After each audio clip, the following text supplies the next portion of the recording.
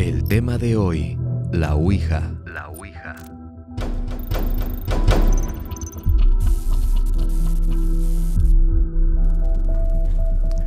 Elijah Bond, el padre de la Ouija. El inventor registró en 1890 la primera patente del tablero para comunicarse con los espíritus, que se convirtió en un negocio millonario y hasta en un popular juego de mesa. Bienvenidos a Inexplicable. La segunda mitad del siglo XIX fue la época dorada de las artes ocultas. Entre las clases adineradas y quienes marcaban la moda se introdujeron las prácticas espiritistas y las mesillas de té se convertirían rápidamente en superficies desde las que invocar a los difuntos y abrir portales con el más allá, o al menos eso se suponía. Y así comenzaría un capítulo en la vida de la humanidad, que ha dado miles de motivos para creer en los poderes de una tabla parlante. Vamos a ver la historia de la Ouija. En el siglo XIX, Existe un boom para contactar a fantasmas, por ello surgen varios métodos, entre ellos se encontraban las tablas parlantes, que permitían la fácil comunicación con los espíritus, y que algunas pretendían atribuir a los egipcios. A mediados del siglo XIX, el francés llamado el misterioso Planchet ya había diseñado el primer modelo reconocible, un tablero con el puntero al que se le aplicaba un lápiz que escribía las respuestas al deslizarse. Así, no es de extrañar que, en la tierra del derecho de patentes, alabado por Lincoln, apareciera un emprendedor que inmediatamente vio la oportunidad. Elijah Bond era un veterano de la Guerra de Secesión, donde luchó con los confederados. Había nacido en 1847 en Maryland, era masón y el 28 de mayo de 1890 presentó la primera patente conocida de lo que pronto sería universalmente conocido como Ouija, no está claro el origen del nombre. La explicación más extendida, que sería la unión de las formas francesas y alemanas de decir sí, no tienen mucho sustento, la patente que le fue concedida el 10 de febrero de 1891. Como cualquier aficionado al cine y a los campamentos de verano juveniles, la Ouija consiste en un tablero en el que aparecen las letras del alfabeto y un sí y un no, algunas incluyen también números para agilizar los discursos e incluso un adiós para no alargar las despedidas. Ideadas en principio para dos personas, nada impide que las utilicen varios e incluso una sola persona. Lo que intervienen tienen que tocar con el extremo de sus dedos el puntero que, ante una pregunta, irá deslizándose por el tablero de una letra a otra hasta elaborar la respuesta. Lo que sorprende de la patente número 446.054 que Bond registró también en Canadá es que el artículo aparece clasificado como juguete o juego, sin mención alguna a su posible utilidad espiritista, y de hecho mantuvo esta catalogación en las sucesivas versiones comercializadas por la International Novelty Company. Los movimientos empresariales hicieron de la patente de Bond algo muy deseado. La versión más inquietante quizás sea la que en 1907 registró su creador bajo el nombre de Nirvana. En su logotipo figuraba una esvástica cruzada por esta palabra. La propia compañía adoptó el nombre y pasó a llamarse The Svastika Novelty Company, a pesar de que faltaban décadas para que este símbolo se hiciera tristemente famoso. Ya por entonces comenzaba a ser utilizado por grupúsculos antisemitas. Que esa fuera la razón por la que la adoptó Bond o si simplemente se trataba de un guiño a los orígenes supuestamente ancestrales de la Ouija es difícil decirlo hoy. Bond falleció en 1921. Por entonces, su patente, como otras similares aparecidas en años posteriores, pasó a ser controlada por William Fault, un emprendedor de Baltimore, que empezó a ser conocido como el verdadero padre de la Ouija por los medios porque fue bajo su empuje empresarial como el tablero se convirtió en un verdadero fenómeno.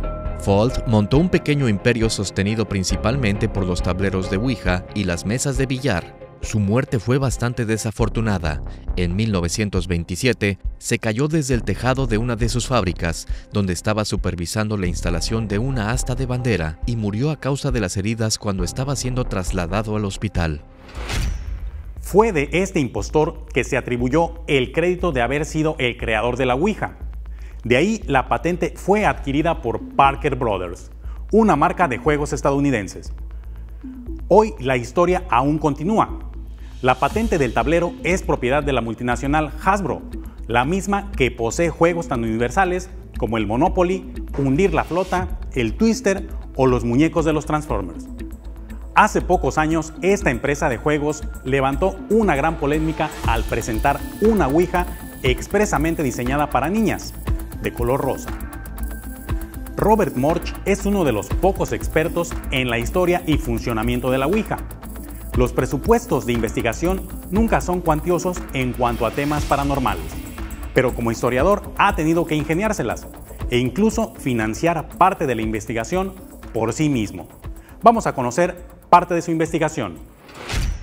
Para comprender su surgimiento y el lugar que ocupaba en el imaginario colectivo, debemos remontarnos al auge del espiritismo en círculos ilustrados y burgueses durante el siglo XIX. El hombre decimonónico no ha sido completamente entendido más que por algunos fuera de serie, como Nietzsche o Schopenhauer, pero tiene algo de científico, algo de escéptico y algo de racista. Las tradiciones ocultas y el contacto con el más allá constituyeron tanto un entretenimiento como una fascinación socialmente aceptable e incluso prestigiosa.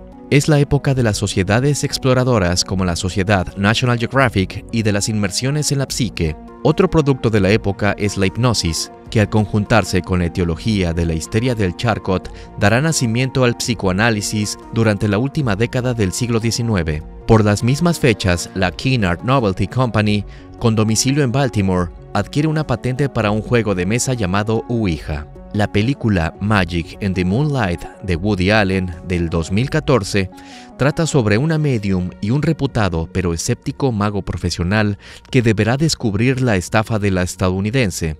Pronto, el vínculo afectivo lo hace creer en la autenticidad de los poderes de su amiga, los espíritus de los difuntos se presentan en las sesiones mediúmnicas y comunican a los contactantes o clientes con mensajes, visiones o respuestas desde el más allá.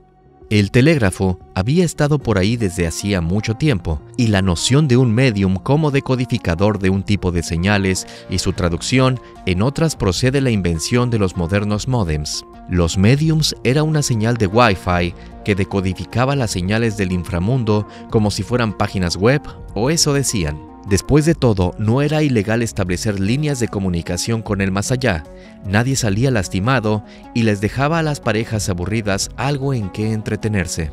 No iba ni siquiera en contra del dogma religioso, el cual contempla episodios de transmisión de mensajes divinos.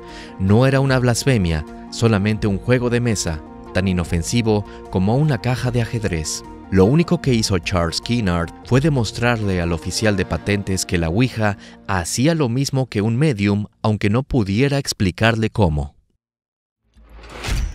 La Ouija ha estado presente en nuestras vidas. Por ejemplo, cabe resaltar que incluso durante la Gran Depresión Económica y durante la Segunda Guerra Mundial, vaya, incluso durante la contracultura y las protestas por la guerra de Vietnam, la Ouija siguió vendiéndose interrumpidamente en cualquier parte. Es cierto que desde los años 20 y 30, los periódicos amarillistas se deleitaban en notas sobre mujeres que matan a su madre después de haber jugado la Ouija, o sobre millonarios excéntricos que dilapidaban herencias a nombre de personas muertas del pasado. Pero la conexión siniestra es una construcción cinematográfica y de los medios. Vamos a una pausa comercial y al regresar te mostramos hechos inexplicables, atribuido a un ritual. Ya volvemos a Inexplicable.